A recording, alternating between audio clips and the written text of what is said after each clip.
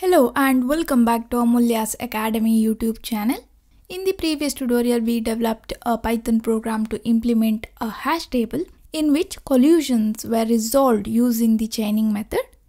In this tutorial, we will implement a hash table that resolves collisions using the open addressing method. So let's write the program in a Python file.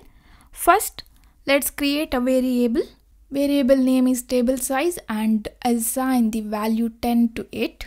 This is the size of our hash table and we'll take its value as 10. Next, let's create a hash table.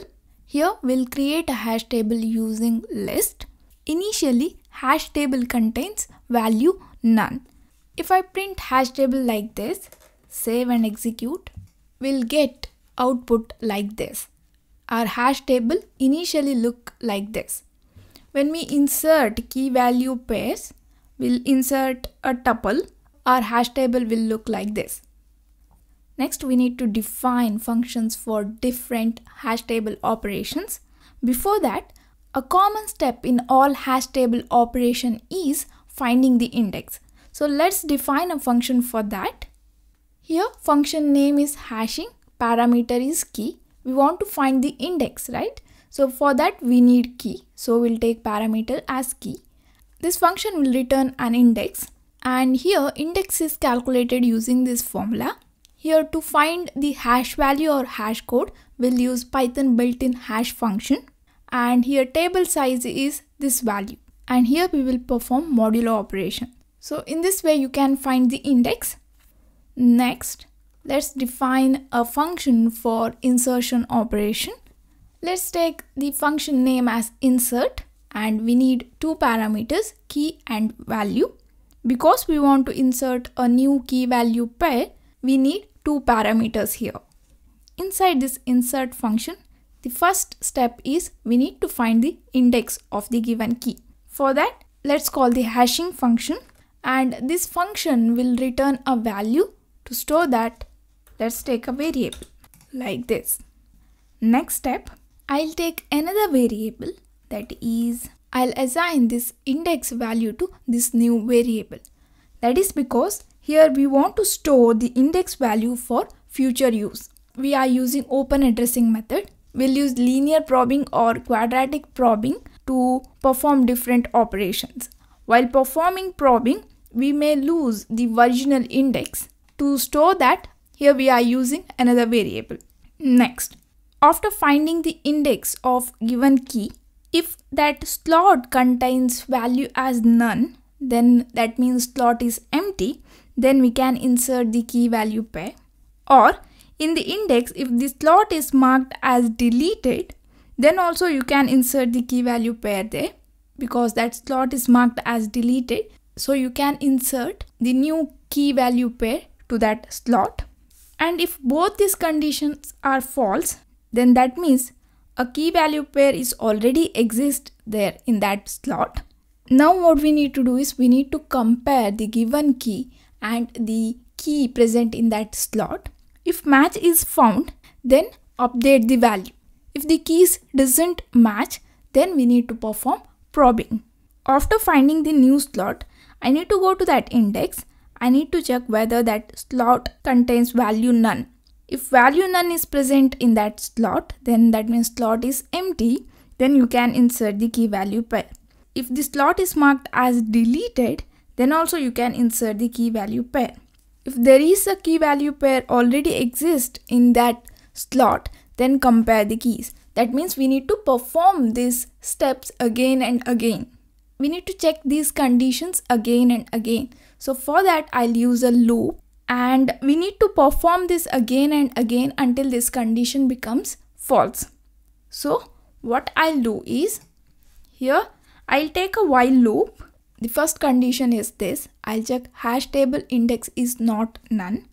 And next condition is hash table of index is not deleted. That slot is not marked as deleted slot. So in open addressing method, when we delete a element key value pair from the hash table, we need to mark that slot as deleted, right? So for that, we need to create a marker.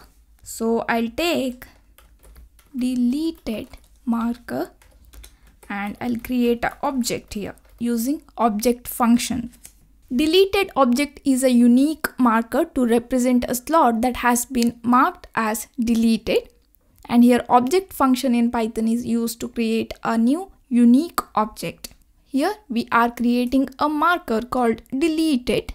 Now here to check the slot is not marked as deleted we need to use this condition hash table index is not deleted here and condition so both these condition need to be true then only it will execute while loop body if both these conditions are false then that means we can directly insert a new key value pair to that slot. Both of the condition is true. We need to update the value or we need to perform probing based on the situation. Let's see that. In the index obtained by the given key slot is not marked as deleted or slot is not none then that means there is a key value pair present in that slot. First what we need to do is we need to compare keys. Let's use the if condition. So here you can see in the diagram the first value of this tuple the key value pair will be present inside a tuple. The first value is key that is the zeroth index and the second value that is the first index contains value. Here we want to compare keys so use index 0 equal to given key. If it is true, that means key is already present in the hash table and it is present in the current index. So what I need to do is I need to update the value. Here one, we need to update value and update given value like this. Here new value is given, right? Update that value in that index. Then we are done. So use return. If not, if key doesn't match with the given key then that means a different key value pair is present in that index. So what we need to do is we need to perform probing. You can use linear probing or quadratic probing.